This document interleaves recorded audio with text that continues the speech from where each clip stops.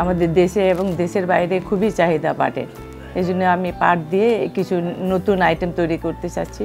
যেরকম আমার তৈরি যে জুয়েলারি বক্স টিস্যু বক্স পুতুল, ফুল, অনেক রকমের আমি গিফট আইটেম তৈরি করি জুট দিয়ে।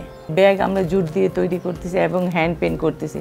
এটা চাহিদা খুবই বেশি, এটা একটু ইউনিক টাইপের কেউ যদি নিয়ে যায় কোথাও সে প্রোগ্রামে তাহলে মানুষ এটার দিকে তাকায় থাকে যে জুট দিয়ে এমন একটা জিনিস তৈরি হয়, এটা গিফট আইটেম হিসাবে বা কোথাও গেলে সেটা নিয়ে ব্যবহার করতে পারে।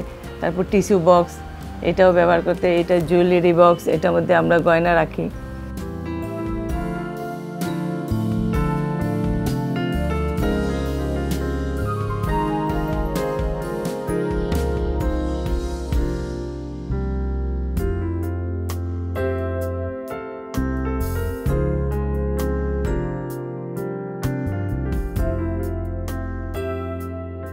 সরকার থেকে আমরা চাচ্ছি যে আমাদের একটু উন্নতির জন্য সরকার একটু হেল্প করলে এই জুট প্রোডাক্টে আমরা অনেক দূর আগে নিয়ে যেতে পারব এবং বিদেশে রপ্তানি করার ব্যবস্থা করে দিলে আমাদের জন্য একটু ভালো হতো